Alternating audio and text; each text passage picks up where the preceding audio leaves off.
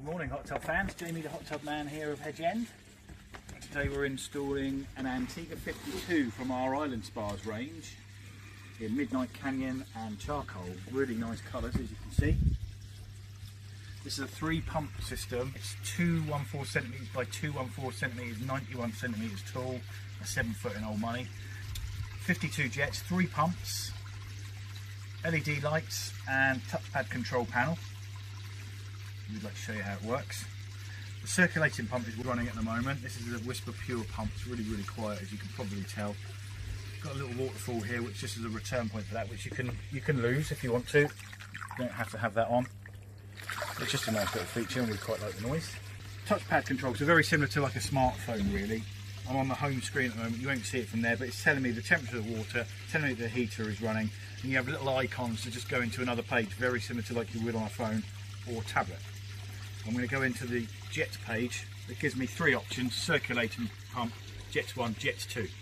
Obviously circulating pump is already running, so I'm going to hit Jets 1. Jets 1 just does this side of the spa, so the lounger, the corner seat where the pillow is and the seat in between the two.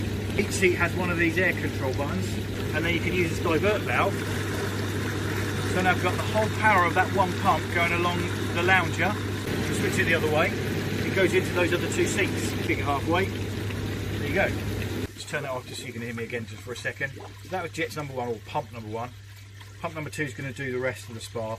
We've got two seats over there, what we like to call the captain seat, and we've got uh, five jets down in the footwell there. Same principle, controllers for each seat and the divert valve. So that's moved all the water into the captain seat and the main jet down in the footwell. Switch around the other way, there's four other jets in the footwell spraying out at angles plus the middle seat there. And again, stick it halfway and it feeds all the jets. And if you want all on together, that's 52 jets running there. Turn it back off again so you can hear me. LEDs in the hot tub. You can see one down here below me.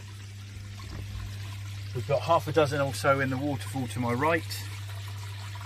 There is also a light under the water to my left, to my right, two opposite me, and one up in the waterfall pillow. This is out of our island range of spas, made by Artesian. This is really heavily based on hydrotherapy. It's really therapeutic for those of you that are struggling with injury or aches and pains so well worth considering. A little bit higher end and money wise, but you get up to 12 years warranty with an Artesian Spa, so well worth your investment. I hope you like our video. I think that's enough for today.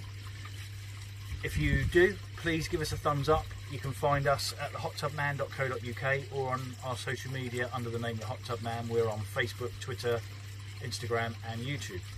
Look forward to seeing you soon. If you'd like to make an appointment, come and see me. That'd be really swell. Thanks.